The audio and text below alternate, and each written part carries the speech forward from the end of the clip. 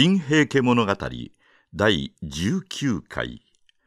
講談社吉川英治歴史時代文庫より朗読は城春彦です。鳥持小かじゃ。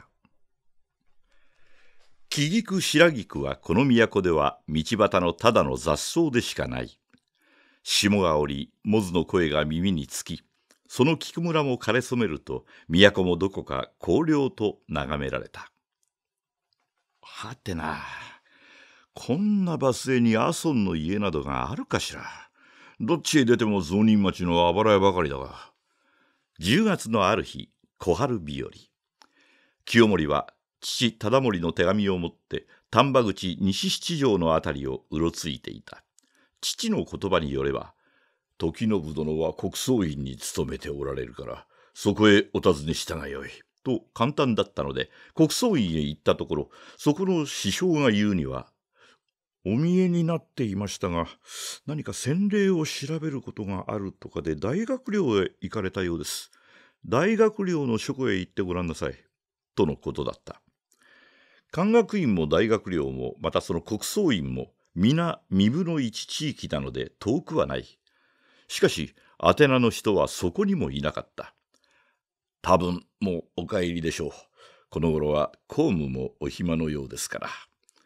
ご自宅は西七条というのも諸子の師匠に聞いてきたことなのである。が、歩いてみると、それらしい屋敷も見えず、心当たりの道の悪さや小言の不潔さといったらない。東朝写しの官庁楼門や準大和様式の皇居、利休、公家館のある地区などは、ひとまず幾世紀の風化と人文の調和のもとにこの国の平安京を作り上げてはいたが、くまなく歩いてみると死亡の裏やバスへには今なおあちこちに結居の民からいくらも進んでいない貧しい部落と未街道をまだらに抱えていることがわかる。下駄作りの家、鍛冶師の小屋、紙すきの家族、皮をなめす人たち、染屋は手首に自分の色を持ったこともなく稼いでいる。年ごとの秋の出水に、この界隈はやたらに池や小川ができ、稼ぐ親たちから目の敵にされているこのガキたちが、しぎに罠をかけたり釣りをしているかと見れば、疫痢の病人を家に持つ女が病人のお仏を捨てるに格好な場所ともして船の稚魚だけはよく肥えていた。さて訪ねてみるしかあるまいで清盛は立ち止まったところの付近を見回した。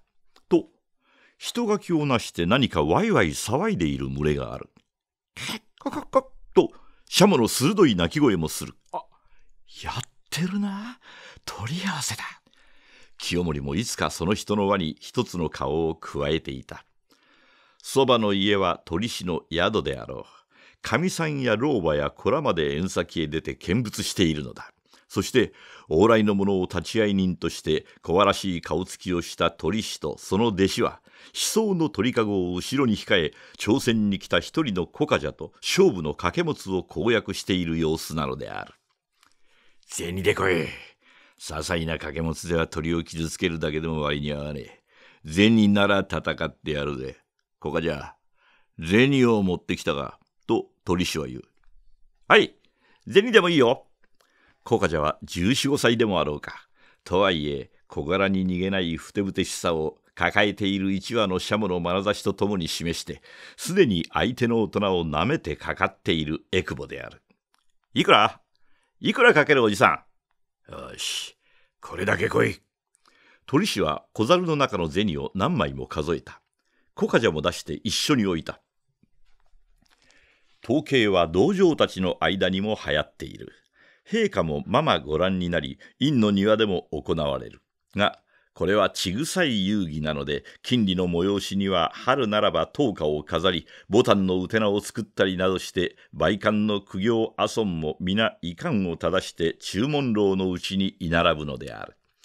参入に儀式があり小七力ワゴンの総額などのうちにさていよいよ鳥と鳥との紐を絶叫の戦いが演じられるや年人半者などがあってあまりにはさっきの凄まじくならないうちに格好を打ち鳴らして引き分ける。こうして南蛮勝負かの後主産をたまい義女学人の舞があって一斉に昇華しようて秋ならば聞く帰郷などの一重一重を家ずとにひねもすの勘を尽くして終わるのであった。だが盆下の今日は実質である。博打としてしかこれを見ない。戦う鳥の流す血に自分にとっても血以上の銭をかけて固唾を飲むのだ。戦い合い叫び合い双形の爪くちばしにあしらの舞を見るがごとき時。博打のまみに疲れた人間たちこそ鳥以上にも清掃な殺気を表にみなぎらせてくる。我が子は二十歳になりぬらん。博打してこそありくなれ。国々の爆闘にさすがこなれば肉かなし守らせたまえ王子の住吉西宮。この頃都に流行るものという俗歌のうちの一節である。ガニ打ちすごろく取り合わせなどと博打やりは商家を通じての自風であった。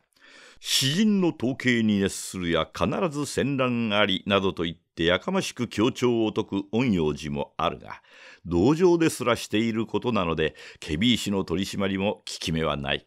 いやそのケビー氏の長のうちでも折々鳥の毛合う叫びを聞くという噂すらある巷だった。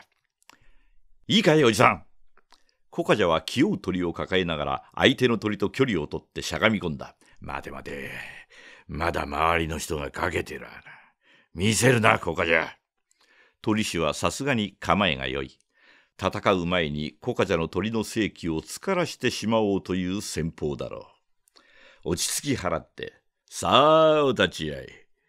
ただ見ていてもつまるまいかけめされ、なんぼでもかけてこそじゃぞ。と、ざれ口半分に周りの顔を見回していた。銭の音が盛んに始まる。たちまち半者だの道具となるものが現れている。だが、鳥師の鳥にばかりかけ手が多く、小カジャへの賭けははかばかしくない。よしあとは俺がかけた清盛はつい怒鳴ってしまった。自分の声にハッとしてから懐の金を改めた。先頃馬を売って酒を買った時の残余を父忠盛は出せとも見せろとも言っていなかった。それがある。できた半者が言う。途端に目ばかりになった大勢の顔がさーっと凄みを包んで血を掘るように一点を見つめた。こかじゃ、お主の鳥の名は、獅子丸、鳥師、お前の鳥は？知らないか。黒金剛って言うんだ。行くぞまた、合図は半者がするものだ。小僧、生意気に本格を言いやがるな。鳥と鳥はもう首を突き出して人間ならば上がっている血相に見える。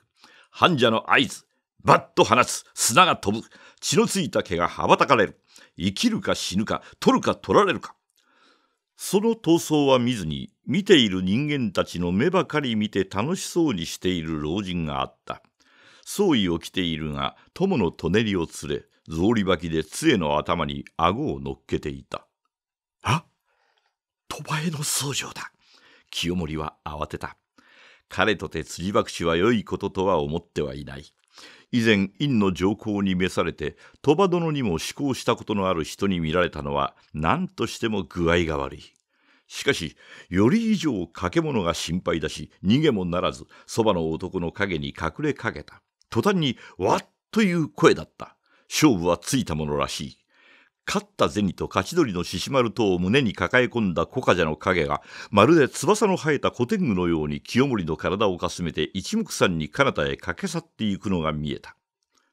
伊勢殿のことの伊勢殿のことのどこへ行かれる。あこれは僧正でしたか。空とぼけて歩き出したのに清盛は呼び止められて大いに照れた。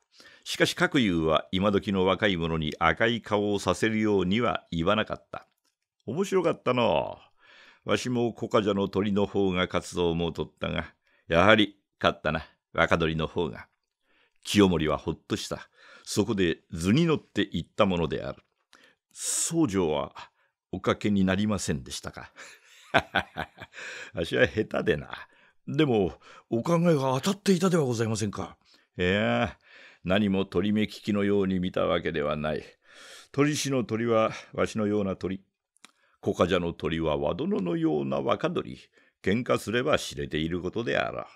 だが、和殿はせっかく買った掛け持つをだいぶ堂本とやらいう男にゆすられたようだの。僧正が私に損をさせました。僧正が見ていらっしゃらなければ、喧嘩してやるところだった。いけないいけない。後の喧嘩は和殿の負けじゃろう。あの男たちは鳥師の同類だよ。わからんかな。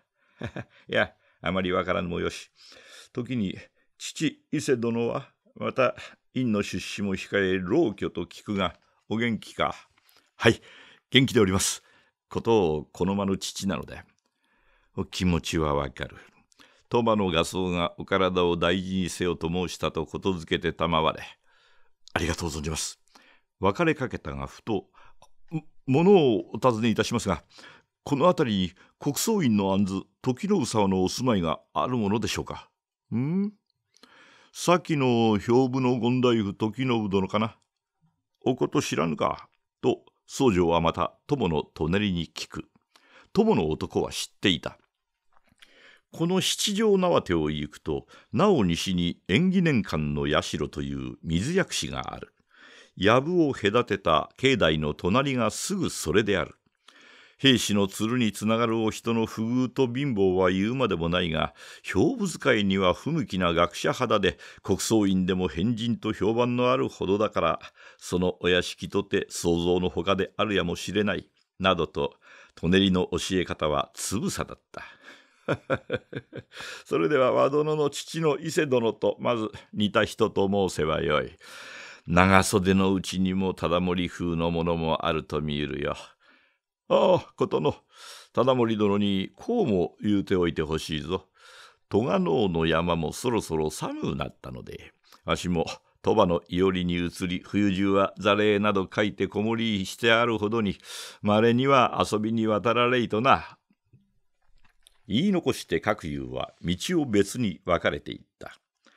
それから間もない後、清盛の姿は水薬師の大藪道を通って一軒というよりは一角と言った方が正しいほど長い土塀の前に立っていた。なるほど、これはひどいやれもんだ。我が家の方がまだ貧乏もこじんまりしている。これでも中に人が住んでいるのかしら。叩けば壊れそうな門の戸である。いや、叩く必要もなく、二尺ほど曲がって空いていた。しかし例として清盛は外から行うことにした。頼もう頼もうを二度ほど繰り返す。と、うちに足音がして、ガタガタンと厄介な門の戸を持ち上げ気味に開けながら、ひょいと顔を出した少年がある。おや？と、小家者は目を丸くした。いやあ先ほどは意外であった。しかし、奇遇は親しみを急速にするはずである。清盛は笑いかけた。ところが小家は彼を置いたまま妙に慌ててどこかへ隠れ込んでしまった。